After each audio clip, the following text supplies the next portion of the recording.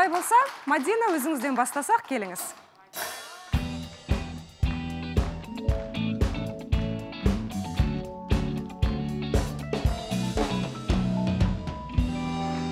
Қалыңыз қалай көңіл күйіңіз? жақсы. Қоңыр күз деп жүргенде сіз көктемдей болып шықтыңыз ғой ортаға. Иә кішкене көңіл күйім жақсы болып тұр бүгін сол себепті. Осындай әдемі көйлек көңіл күйіңіз не нәрсеге байланысты жақсарды. Ә, омар екеуміз ара қатынасымыз жақсы соған байланысты. Кездесуге барып жүрсіздер ма? Иә барып жүрміз кездесіп жүрміз танысып сөйлесіп. Әңгімелеріңіз жарасып. Иә әрине. Алдында тағы да кездесек бір біріміз туралы көбірек білсек деп айтқан едіңіз. Мүмкіндік болды ма? Әрине мүмкіндік болды. Төрт сағаттай үш төрт сағаттай бірге керемет.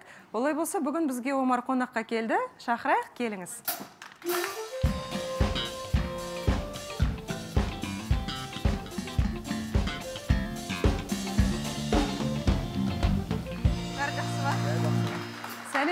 Сәлеметсіз бе қалыңыз қалай? Шүкір аман амансыз ба? күліп шықтыңыз ғой сонда ерекше. Қонағымызды қарсы алыңыздар дұрыстап. Бүгінгі бағдарламаны жақсылап тұрып бастасақ сіздерден бастадық енді. Жақсы айтар жаңалықтарыңыз бар шығар деп. Жаңа мадина айтып қалды үш төрт сағат бірге өткіздік деп. Қайда бардыңыздар? Не туралы сөйлестіңіздер? Сіз айтыңыз енді сіз осы омардың күлгенін айт маған кәдімгідей жүзі жылы. Ә, кеше маған айтқан бір ә, баланың несіне барасың ба деп. Сол кеше сол балаға барып сөйлестім. Ә, мен шынын айтайын өзім бірінші рет ә, бір бала баратын мотиватор қылып иә. Ә, өзім кішкене қобалжып бардым да не айтамын не айтамын деп. Сол мамасымен сөйлесіп мамасының жағдайын сұрап бәрін кәдімгідей өзім түсінемін да маманың жағдайы қандай қиын екенін. Мен де сондай ситуацияда болдым. Сол барынша айтып тырыстым енді сол кісіге. Қайда бардыңыздар сонда мадина? Ә, бір отыратын ә, А, мейрамханаға бардық. Ә, мен жаныма экспоны алып алғанмын. Жолдан ә, қа- сіз басқа жерде болдыңыз Иә, үйден бөлек жерде болды. мен бар Иә. подарок іздегенмін ғой сол балаға сол жақтан алып кеттік. Маған ә, біздің туысқа туыс ретінде болып кеткен кісі ә, звондаған еді да сол кезде енді сөйлескісі келген. Сол арқылы таныстырып сөйлестіріп ә, омар енді үлкен жасында переходной возраст кезде болған жағдай ғой. А ол балада өте кішкентай кезінде болған жағдай да. Қазір бала болғаннан кейін ұмытып сондай болып кетеді бірақ ортаға бөтен ортаға түскен кезде қиналады екен да. Қазір нешеде жасы?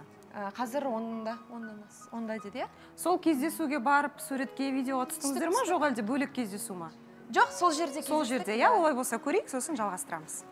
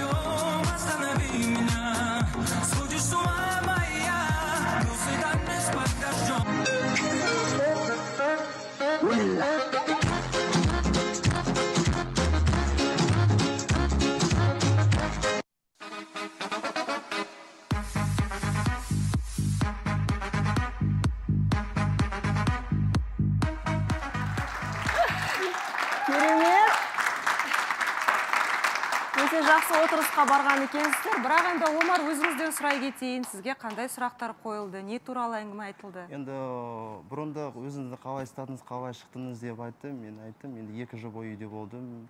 Анаммен де сөйлеспедім. Маған өте қиын жағдай болды. Балаңызды қазір қандай жағдайда мен түсініп отырмын. Ә, сіз болашағыңызды ойлап жатсыз мен бәрін түсінемін. Бірақ соған қарамастан мен шыға бастадым. Сізді балаңызды үйде отырғызбай шыға береміз. Адамдарға көрсетіңіз наоборот. Ол қандай өзі самостоятельный болса деп. Соның бәрін айтқызып түсіндіріп. Ә, ана кісі жағында мен өзім де жауапым кел, кетті. Мен айттым мен мамам да сондай ситуацияда болған өте қатты. Мен сізді бәрін түсінемін дедім. Соған жеткіздім. Енді баланың өзіне де қиын ата анасына да қиын Иә. сіздің басыңыздан өткен жағдай ғой. Алдында да сұрағым келді бірақ ә, сәл ыңғайсыздандым достарыңыз туралы білгім келеді сол кезде сіздің жаныңызда болған. Сіз жалғыз қалып қойдым деп айтып жатсыз ғой жаңа темір жолда одан кейін достықтарыңыз үзілген жоқ па? Олар өздерін кінәлі санамады ма? Олар да бала ғой ол кезде. Енді мектептен кезінде достарым олар мені білмеймін бір жағынан қараған кезде қате айтқым келмейді бірақ олармен араласпай кеттім мен.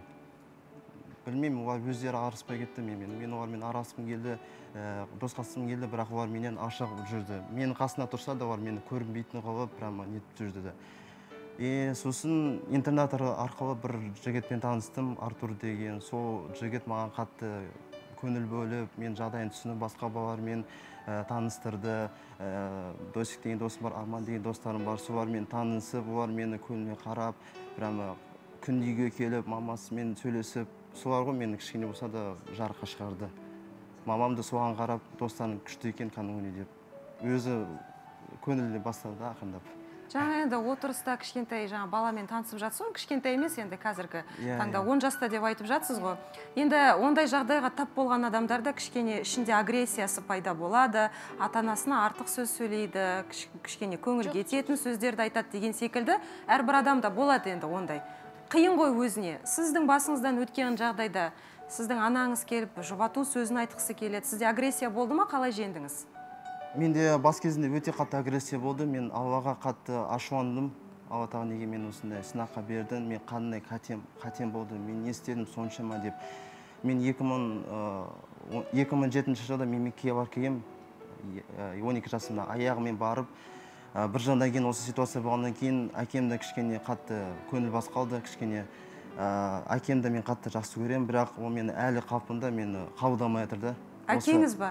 Он жыл бойы әлі қабылдамай жатыр осы мен осы деңгеймен қабылдамай жатыр кешірім сұрайын бірге тұрасыздар ма? Әке шешеммен бірге тұрамыз аха. Қабылдамағанда қалай? Сізбен сөйлеспей ме әлде жоқ сөйлескенде сөйлеседі бірақ ә, білмеймін енді. Көбі айтады да енді балаңызды ә, кішкене сөйлесесіз ба қалай нетесіз бірақ негатив та кішкене енді. Қатты болып тұр да ол кісіде. Он жыл бойы әлі қабылдамай тұрмын мен осы қалпыммен әлі сол екі он төрт жасымда аяқпен қалған сонда әлі қалып тұр да. Сөйлесіп көруге тырыстыңыз ба? Иә сөйлес сөйлес сөйлесеміз ғой енді бірақ білмеймін енді қалай айтсам болады. Мамам мені қабылдады бірақ сразу қабылдаған жоқ тоже. Ә, жәймене жәймене бір екі жылдан кейін қабылдады. Әкем әлі нетпей жатыр да. Қатты енді ер азамат болғаннан кейін кішкене қиындау шығар әрбір отбасының өзінің өзгешелігі ерекшелігі болады. Иә, мен сондықтан әкем- сіз де түсіністікпен қарауға әкем де мен де түсінемін. Енді әкем енді басқа мен достарыма қарайды аяғына қарайды ғой мен де бала осылай жүрсе екен деп қасында көмектессе екен деп. Енді мен айтамын бір алланың сынағы ғой енді оған не істеймін мен енді деп. Өзім жұбатамын да. Негізі табиғаты бойынша жалпы сондай ғой әйел адамдар кішкене сезімтал эмоцияны бірден көрсетіп қояды. Ал ер азаматтар тұйық болып келеді көрсете бермейді. Мүмкін ішіндегі жан дүниесі жылап жатқан шығар сізге көрсеткісі келмейтін шығар әлсіз екенін. Сондықтан түсіністікпен қарауға мен тырысыңыз. уақыт керек шығар оның барлығына. Енді кездесуге оралайық. Мадина гүлдей жайнап отыр бүгін. Сіз үшін киініп келді ау деймін соған қарағанда. Омармен әңгімеміз жарасып жүр кереметтей. Мадина? Иә бәрі жақсы. Әңгімелесіп сөйлестік. Ә, бірімізді жақын таныдық. Мен екеуміз ғана сөйлесе бермей ә, басқаларға да кішкене көмегіміз тисін де деген оймен ә, кездестірген болатынбыз. Себебі біз екеуміз отырсақ ә, енді бірімізге сұрақ қою арқылы ғана жүреді да әңгіме. Ал ол жаққа барған кезде мен омардан сұрай алмаған нәрселерімді ана тәтез мамасы ана кішкентай баланы сұраған кезде мен де құлағымды ә, тосып отырдым да керекті нәрселерімді алып біліп отырдым. Ә, сол сол жағынан ә, сізге рахмет айтып жатыр. Ә, жаңағы сіз берген сыйлықты тастамай жаңағы плаванияға сол барып жүр екен ғой күндіз таңертеңнен бастап кешке дейін соның барлығына өзімен бірге алып жүр екен. Рахмет деп айтып жатыр сізге. Ә, сол ә, бізбен бірге ой! Керемет! Ә, мен кішкентай сыйлық болса да. Рахмет көп көп рахмет.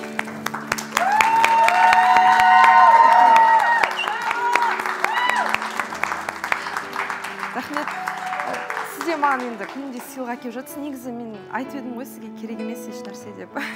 Мен иә бірімізге көңіліміз ғана болса болды әйтеуір бірімізді танып түсініп жатқанымыз ғана. Осыған да шүкіршілік етемін да мен. Мынау енді сізге керемет анна ханым мен маған не мына жақта қыздар айтады да не сен не істей салсай бір жейтін бірдеңе магазиннен ала салсай дейді да сосын мен айтамын да. Мен алдында самат ағаға айтқан едім ғой магазиннен алмай бай алып келген дұрыс деген сияқты. Тағы да сөз естіп қалам ба иә деп өзім сөзіме өзім қарсы шығып қаламын ба деп солай дайындап алып келіп. Өзіңіз жасадыңыз ба? Деп ойланып қалады. Жарайды енді қанша дегенмен де көңіл ғой сізге. Көңілін білдіру арқылы жігіт адамның көңілін табу үшін через желудок дейді ғой? Иә. асқазан арқылы көңілін табу керек дейді. Енді негізі қандай тамақтарды жақсы көретін едіңіз? Айтып сұрадым қойыңыз. Сұрадым сұрадыңыз ба? Мен тамақ таңдамаймын жіберемін тәтті болса болды. Тәтті болса болды. Иә кеше қандай күшті? кеше әдейі де сұрап алғанмын ғой. Мен білмедім бүгін шығатынымызды. Ә, содан кейін енді бір екі сағат қалғанда ғана білдім шығатынымызды. Сол негізі қандай тамақ жақсы көресіз деп сұраған кезде талғамаймын деді. Содан кейін мен де кішкене қуанып қалдым. Егер де қиын бір тамақты айтса қалай істеймін деген сияқты ше қазір дамыған заман ғой ютубты аша саласыз да жасай бересіз ғой кез келген тамақты. Сіздің қолыңыздан келеді ау мадина? Иә келеді егер тырыссам көңілім болса әрине жасауға жақсы енді қол көтеріп отыр екен жанерке. Сұрағыңыз иә пікіріңіз болса. Омар сәлеметсіз бе? М- м- мындамын қош келдіңіз. Жалпы мен омарды ә, былай түсінемін да ә, о, маска құлағыма сырғыма ілініп шешілмей омар жалпы осында сіздің келгеніңіздің өзі ә, батылдық танытып қорықпай келгеніңіздің өзі бір үлкен ерлік деп санаймын. Жалпы сіз кез келген адамға мотиваторсыз мен ойлаймын көптеген адам осы омардан үлгі алса екен деймін. Ә, кез келген адам өзінің өмірін өзін бағаласа екен деймін сізге қарап. Сізге ешқандай күмәнім жоқ бірақ бұл жерде мен кішкене мадинаға күмәнданамын неге? Ә, мадина қалай ойлайсың? Мен өзім ойымша не көріп тұрмын? Мадина ә, омармен жай ғана аяушылық сезім болғаннан кейін созып жүрген сияқтысың мадина өйткені қалай ойлайсың омар өзі енді бір сезімтал көңіліне тез қабылдайтын адам сияқты көрінеді. Босқа уақытты созып жүрмін деп ойламайсың ба? Ертең алдағы уақытта омардың ә, жаңағыдай иә сезімі мүмкін саған ашылып уже жақсы көріп қалатындай уақыт келіп жетуге аз ғана қалды ғой. Ә, сенде аяушылық сезім ғана сияқты деп ойлаймын мен мадинада. Бірақ енді өте орынды жақсы сұрақ қойып отыр. Маңызды сұрақтардың бірі біздің жоба енді махаббат алаңы болғаннан кейін. Енді ол сұрақтың жауабын біз мадинадан жарнамадан кейін білетін боламыз. Шынымен де омарға жігіт ретінде қана қарай ма? Жоқ әлде аяушылық сезім басым ба? Жарнамадан кейін білетін боласыздар. Эфирде бір болайық жобасы біз жалғастырамыз. Ортада біздің мадина отыр. Үміткері омар. Жақсы әңгімелесіп жатырық бірақ жанерке жаңа өзіңізге сұрақ қойған болатын. Үміттендіріп қойған жоқсыз ба омарды? Нақты сезім бар ма ер азамат ретінде қарайсыз ба? Жоқ жай ғана аяушылық па деп? Ә, мәселе үміттендіріп қойғанда емес қой енді. Ма- мені таңдап сонау ә, нұрсұлтан қаласынан келіп тұрғаннан кейін ә, ең алдымен қандай адам келсе де сыйластық таныту керек. Ә, сіздер де ә, жанерке өзіңіздің алдыңғы маусымдарда отырған кезде үміткерлер келді иә сізге? Сіз біреумен кездеспей қоймадыңыз барлығына сыйластық танытып кездестіңіз. Бұл жақта да ешқандай исключение жоқ. Ә, адам ретінде қабылдадым. Адам ретінде сөйлесіп көріп маған ме- менің өмірімде бұл нәрсе болмаған осындай именно осындай нәрсе. Ә, аяушылық ондай жан ашу сезімімен емес енді өзі де айтатын шығар біз как ә, дос ретінде де араласамыз жақын сырлас ретінде де. Менің өзіме жалпы ә, жизненный опыт дейді ғой. Ә, чтобы болашақта егер де менің өмірімде тағы бір жағдайлар болып жатса ол нәрсеге тура көзбен дұрыс қарауға. Бәрі жақсы. Бірақ біздің жоба достық туралы емес кеше енді ерасылдың үміткері келген кезде екеуі төрт бес рет кездескен қарындас аға болып араласып жүрміз деген кезде таныстық тоқтаған болатын. Өйткені басты мақсаттарыңыз шаңырақ көтеру үйлену балалы болу. Сол жағын ұмытпаңыздар. Әрине енді келген қонақты сыйлаймыз құрметтейміз. Бірақ ә, басты мақсат туралы ұмытпасаңыздар. Біржан. Ә, бұл жерде мен сыйластық көріп тұрған жоқпын. Ә, үміткерге деген. Үміткерге деген не? мен байқамай шығып кетті да не бұл жерде не көріп тұрған жоқпын. Ә, бұл сыйластық қой мадина өзі нық сөйлейтін қыз ғой. Ә, үміткермен сыйластықпен кездесіп танысып көрмеске неге. Ә, бір екі кездесу ол обязательно болу керек өйткені адамды танып білмейсің ғой. Сондықтан ә, мадина өзі нық сөйлейтін қыз өзі біледі не істеу керек екенін. Енді сыйластық дейсіздер бірақ сезім қайда?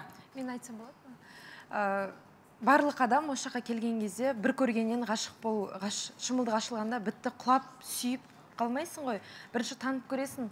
Адам ә, бет бейнесі түр әлпеті киім киген киімі ә, болмысы ұнағаннан кейін ішкі жан дүниесін түсіне бастайсың. Ішкі жан дүниесін түсінген кезге кез, кезде саған уақыт керек. Әрине бәрі достықтан басталғанға не жетсін? Достық арқылы бір бірімізді жақсы тану арқылы болашақта ертең не болатынын ешкім білмейді ғой. Жақсы або бұл жерде дұрыс қой енді айтып жатқан сыйластық деп жатыр да бірақ сыйластық ол басқа жағынан да бұл жерде жігіт сезімтал болып тұр да. Жігіт өзіне тез қабылдап жатыр. Қазір жігіт былайша айтсам жақсы көріп үлгеріп. Былайша айтқанда мадинанікі сыйластық дұрыс бірақ қазіргі көрсетіп жатқан сөздері айтып жатқан сөздер жігітке үміт сыйлап жатыр да. Сондықтан бұл жерде айтқым келетіні жігіт балаға былай ашығын айтқан кезде анна ханым қатты үміт сыйлау керек емес. Одан артынша өзің де қиналып қаласың босқа жігітті де қинайсың. Сондықтан айт ол түсінікті ғой жауабы. түсінікті екені сендерге түсінікті шығар. Менің ішімде не болып жатқанын білмейсің ғой сен дұрыс па? Менің ішіме кіріп шыққан жоқсың. Сен екінші мадина емессің. Сен менің өмірімді абы қайттан түсіріп көре алмайсың. Сенің де басыңнан талай жағдайлар өткен шығар қыздарың келді. Бір кездесу емес бірнеше кездесу жас, жасау арқылы сен ортада тұрып сөз салу арқылы да сенде қайтқан ондай нәрсе басында болған. Сенде де сезім ашылған. Мүмкін сенің сезімің тез ашылатын шығар ал менікі жүре жүре бара бара аш- ашылатын шығар. Сол себепті ә, алдымен сіз өзіңізді менің орныма қойып көріңіз. Ә, содан кейін бірақ ә, кішкене ойланып барып жауап берсеңіз болады. Ә, қазір ішіме кірмегеннен кейін ондай нәрсе айтудың қажеті жоқ. Жоқ бұл жерде дұрыс қол нәрсені түсініп тұрмын бірақ соңы немен аяқтала, аяқталатыны барлығымызға уже көрініп тұр да. Сондықтан босқа үміт сыйламашы деп иә айтқым абой сен келеді деген ә, бір нәрсені бір жұмысты бастардың алдында мен соңы осындай болу керек осындай болады болу керек деп бармайсың ғой дұрыс па? Бір нәрсені бастардың алдында. Отношенияда да дәл сондай. Сен осы кісіге болды мен үйленемін деп шықпайсың. Сен бірінші ұнату сезімі ғашық болудан басталады барлығы. Егер де сен ә, бастапқы нәрсені бастап аяғын білетін болсаң ол саған қызықсыз болады емес па? Иә дұрыс қой бұл ақылы бар қызсың ғой. Енді қанша дегенмен жігіт баланың көңіліне қара не қинап қойма. Жақсы ерасыл. Жігіт ер азамат қой. Не, неге қиналу керек? Мен айтып жатқан жоқпын. Біздің арамызда жаман болып жатыр маған ұнамай жатыр деп айтып жатқан жоқпын. Құдайға шүкір кездесіп жатырмыз ұнап жатыр. Ә, ортақ адамдарымыз да көбейіп жатыр. Сол. Ассалаумағалейкум омар бауырым қош келдің. Енді мына жерде бір өзімнің басымнан өткен оқиғаны кішкене айтып кетейін деп тұрмын да. Менде де туған інім бар сол інім де тура осылай машина қағып үйде жатып қалған болатын. Бір жылдай ә, гипспен жатып қалды жүре алмады. Сол кезде деген бізге дәрігерлер айтқан болатын мүмкін жүре алмай қалуы да солай жүре алмай қалуы мүмкін деп. Сол кезде анам әкем бәріміз қиналған болатынбыз мен де кәдімгідей ол кезде ол үшінші сынып оқиды мен алтыншы сынып оқитын андай қайғырдым інім үшін. Бірақ енді аллаға шүкір қазір аман есен жүріп жүрді. Мына жерде мен деген омарға деген ризамын қуанып отырмын өмірге деген мотивация беретін жігіт те мысалы. Мен мотивацияны кімнен аламын? Шет, шетел азаматы ник вуйчичтің өмірбаянын оқимын әрдайым деген сол жігітке сол азаматқа қарай отырып мотивация аламын да. Мен мына жерде деген енді або да айтып кетіп жатыр ғой. Иә бірақ андай омарға айтқым келетіні енді осы күнге дейін керемет өмір сүріп келе жатсың енді. Ары қарай жауабы иә болса да жоқ болса да бәріне төзе білетін мықты азамат екеніне сенемін. Сол себепті ешқашан духың сынбай мықты болып жүре берсін деймін. Жақсы олжас. рахмет көп. Омар бауырым қош келдің. Ассалаумағалейкум мадина жаңа сен абрордың сұрағына жауап беріп жатсың ғой енді. Менің ішімде не болып жатқанын білмейсің дедің да. Енді сенен өзіңнен тікелей сұрап көрсек бола ма жалпы ішіңде не болып жатыр? Сенің ата анаңның ішінде қандай сезім болып жатыр енді? Омар келгелі бері. Мәселен омар ренжіме бірақ енді шындығы солай ғой. Өмірдің енді тағдыр тағдыр осындай болып қалды. Мүмкіндігі шектеулі жанды күйеу бала ретінде көре ма саған ата анаң сол жағында жауап Ә, бере бірінші маған келген күні анам маған үйге барғанда ешнәрсе деген жоқ Ә, өзің көр сөйлесіп көр деді. Менің ә, қабылдаған шешіміме ешқашан да крест қойып жоқ былай істе деп айтпайды себебі ер азаматпен тұратын мен. Болашақта әке шешеміз енді өмірде болмайды ғой бәріміздің кететін жеріміз белгілі, ғой сол себепті мен өзім тұратын адам өзіммін. Маған айтты өзің көр деді. Бірақ қызым қиналып қалмайсың ба деді. Мамаға айтты мама ә, мам, қазіргі таңда менің анамның да екі аяғы ауырады да ол кісі түсінеді. Түсінеді ол кісі. Түсінеді өзің шешім қабылда деді. Ал сенің өзіңнің ішіңде не болып жатыр? Ішімде жақсы сөйлесіп көріп жатырмыз. Маған ұнап жатыр жігіт. Өйткені бір мысалы қазір көрсеңіздер көңіл көңілін білдіріп жатыр маған. Ә, жалпы ә, де- 12 мүшесі сау ер азаматтың жасама, жасамаған тірліктерін маған жасап жатыр. Көңілін бөліп жатыр. Менің жағдайымды сұрайды барлығын біледі көңіл күйім қандай екенін біледі. Маған ұнап жатыр. Ода тұрған не бар? Қазіргі таңда мен ә, осы жағдай осы мен алдыма келгеннен кейін омар ә, мен көп нәрсе оқыдым да интернеттен де өзім ізденіп те көрдім. Ол ондай отбасылар бар. Және де ә, болашақта енді экран артында көріп отқан дәл осындай балалары бар ата аналарға айтқым келеді.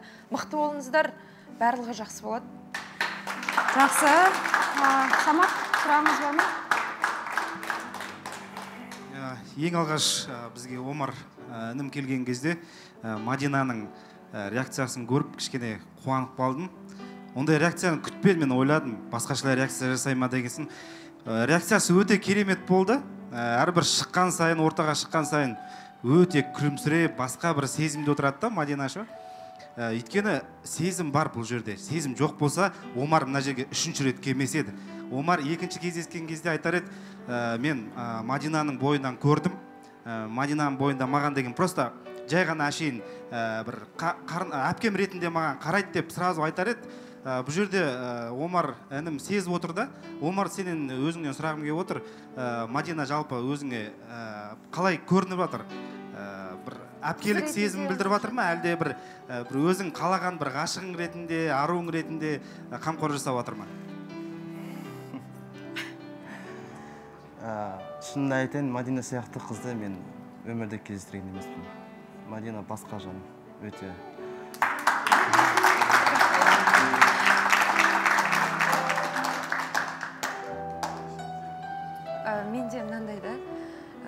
реакциясы қандай болды дейді да? Ә, мен кездестірген бала кеше сөйлескен бала ә, өзім ә, көз алдымда болған нәрсе ну мен көз көзбен көрмесем де болған нәрсені мен больницаға барып сол үлкен тәтеге поддержка беріп солай сол тәтеге мамасына поддержка болғанбыз. Сол кезде мен бүткіл нәрсені Иә. көрдім да. И ол баланы да көрдім жағдайын көрдім бүткіл нәрсесін көрдім. И ол маған жат нәрсе емес. Мен жақсы қабылдаймын. Жақсы адам ретінде қабылдаймын. Және де ә, сыйластығымыз арамызда мол бір бірімізді түсініп келе жатырмыз. Енді ауыр сұрақтарыңызға енді дұрыс жауап беріп жатырмын деген ойдамын. Енді жаңа самат сұрақ қойған болатын бірақ ы, омар өзіңіз толыққанды жауап бере кетсеңіз Иә. ерекше қыз дедіңіз жақсы қыз біз де білеміз мадинаны жақсы көреміз сыйлаймыз дегенмен арақатынас болғаннан кейін ол мәселе достықта емес қой махаббатта. Сіз өзіңіз не сезесіз? Жарайды әңгімелеріңіз жарасып жүр екен. Бірақ қандай бір деңгейден өту керек қой. Достықтан кейін махаббатқа ұласатындай жағдайды көресіз ба мадинаның бойынан? Мен бүгін бір шешімге келдім. Ә, бүгін кішкене қиын болатын шығар. Бүгін танысытып тоқтатқым келіп тұр. Сіз ба? Иә өзім. Неге? Неге? Мадина жақсы қыз. Мен оған нетпеймін ешқандай да. Просто болашақты кішкене енді әке шешесіне қиын болмай ма деп өзім нетіп жатырмын да. Қалай қалай түсіндірсем болады екен. Әке шешесінің жағдайын ойлап жатырмын да енді. Маған қарап жақсы сыйластық бірақ енді ары қарай не болатынымызды мен көре алмай тұрмын да. Дұрыс. Енді сізді түсініп тұрмын бірақ өзіңіз ұнатып келгеннен кейін ол шешімге келудің өзі оңай нәрсе емес. Мадина енді сіз де түсіністікпен қарайтын шығарсыз. Ер азаматтың өзінің шешімі таныстық тоқтағанда енді достық қарым қатынас жалғасын табуы мүмкін бірақ махаббат тақырыбына келген кезде осы жерден тоқтата салайық деп тұр ғой. Сізде сезім ашылмай тұр ма сондай жоқ бәрі жақсы. Просто ары қарай енді әке шешеміз қалай нетеді ә, мен сізден де жақсы жа- жағдайыңды ойлап жатырмын ғой енді. Жоқ мен айттым ғой әке шешем жақсы. Ы, маған бір ауыз жаман сөз айтқан жоқ. Маған айтты сөйлесіп көріп еді сізге жақсы мен енді жақсы ер жігіт ә, кездеседі деп ойлаймын осы жобада. Жоқ мен ренжітіп алдым да. Жоқ жоқ мен менде бәрі жақсы. Нетпеңіз кеше мен мынандай нәрсе болған да. Кеше шыққан кезде кішкене ренжідіңіз ба маған? Жоқ жоқ мен ренжіген жоқпын бәрі жақсы. Көңіліне алмай қойыңыз. Жақсы істеп жатырмын ғой мен. Мадина сіз де ер азаматты түсініңіз. Қатысушылар сұрақ қойып жатыр. Ғой өзіңіз де біліп отырған шығарсыз. Өмір заңдылығы солай болғаннан кейін. Кейін бауыр басып қалып басқа жағдай болмасын ер азаматты өзіңіздей жанды кездестірген жоқпын деп тұр ғой. Мүмкін сіздің жаныңызда басқа ер азаматты көретін шығар. Мадина былай жасайық. Бұрын соңды біздің жобамызда ондай нәрсе болған жоқ бірақ біз омарды кәдімгідей жақсы көріп қалдық мотивацияны жақсы беретін жігіт. Ә, таныстық тоқтады дейді. Мадина тоқтағанмен сіз ә, омарды күнделікті көріп тұруға мүмкіндік аласыз. Себебі алла қаласа біз ә, сізді қатысушы ретінде алғымыз келеді. Қалай қарайсыз? Қарсы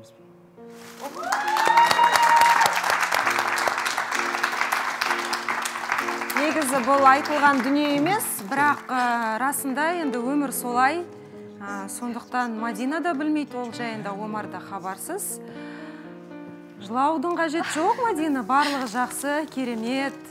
Ә, сіз де бақытты болуға лайықсыз омар да бақытты болуға лайықты. Кім білет мүмкін осы жобада өзінің көңілінен шығатын өзінің жан дүниесін түсінетін екі тарап екі жақтың ана ата анасы да түсінетін қолдау көрсететін жан кездессе екен деп тілейміз. Ода тұрған ештеңе жоқ сіз қарсы емессіз ғой? Жоқ жоқ қарсы емеспін. Олай болса мен тек қана қуаныштымыз. бақыт тілеймін мен енді жақсы ер жігіт тауып жүрегін жауап нетсе соған мен бақытты болса деп тілеймін өзім. Сіздей ақ болсын сол жігіт. Сізден асып түспесе өзіңіздей ақ болсын. Сіз өте жақсы мықты ер азаматсыз. Ә, бірақ енді айтып жатырмын ғой бүгін қатарларыңызға тағы да бір жаңа қатысушы қосылады. Сондықтан бізге бүгін бір кісі келеді. Ол қыз ба жігіт па оны эфир барысында білетін боламыз. Ал біз сізді дүйсенбі күні осы жерде күтетін боламыз. Егер де мүмкіндігіңіз болса үйге барып келсеңіз болады нұр сұлтан қаласына. Ата анаңызбен тағы да бір ақылдасып. Бірақ ә, біздің есігіміз ашық біз сізді дүйсенбі күні күтетін боламыз. Олай болса келесі аптадан бастап алла бұйырса омар бір болайық жобасының жаңа қатысушысы. Дүйсенбі күнге дейін біз сізбен қоштасамыз үміткер күтеміз. Бүгінгі күннен бастап өтініш қалдырсаңыздар болады. Омарға үміткер болғыңыз келсе өтініш қалдырыңыздар. Дүйсенбі күні кім білет мүмкін сізге алғашқы үміткер келіп қалатын шығар. Қарсы алыңыздар. Жобамыздың жаңа қатысушысы ал көп рахмет омар. Барлығы жақсы болады ойдағыдай болады. Мадина сіз жыламаңыз күнде көресіз ғой. сырласасыздар кездесесіздер. Шығарып салайық.